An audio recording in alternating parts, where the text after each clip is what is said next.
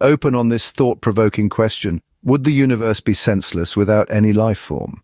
It's a question that has been pondered by great minds throughout history, from natural philosophers to modern scientists. From the philosophical perspective, there's a school of thought known as existentialism.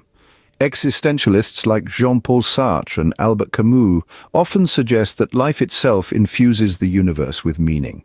They argue that without conscious beings to perceive and interpret the cosmos, it would in essence be devoid of significance. Yet from a scientific standpoint, the universe's existence is not contingent on life. Even in the absence of life, the cosmos would continue its eternal dance of galaxies, stars and planets. The laws of physics don't require observers. They would still govern the universe from the smallest quantum particle to the largest galaxy cluster.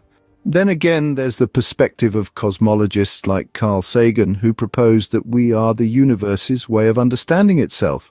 In this view, life and intelligent life in particular gives the universe self-awareness. Without life, the universe might still exist, but it would lack self-reflection. Finally, consider the perspective of panpsychism, a philosophical theory suggesting that consciousness is a fundamental feature of the universe, present at all levels of reality. If this theory holds, then, even in the absence of life as we know it, the universe could still possess a sense of awareness. To summarize, the question of whether the universe would be senseless without life is complex and multifaceted.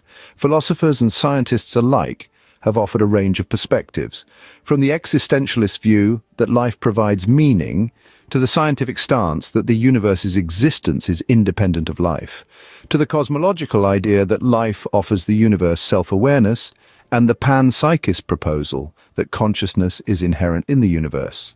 Before we close, remember to click the subscribe button for more thought-provoking content, and if you enjoyed today's exploration, consider sharing this video with a friend. Thank you for joining in this cosmic contemplation. Until next time, keep pondering the great mysteries of the universe.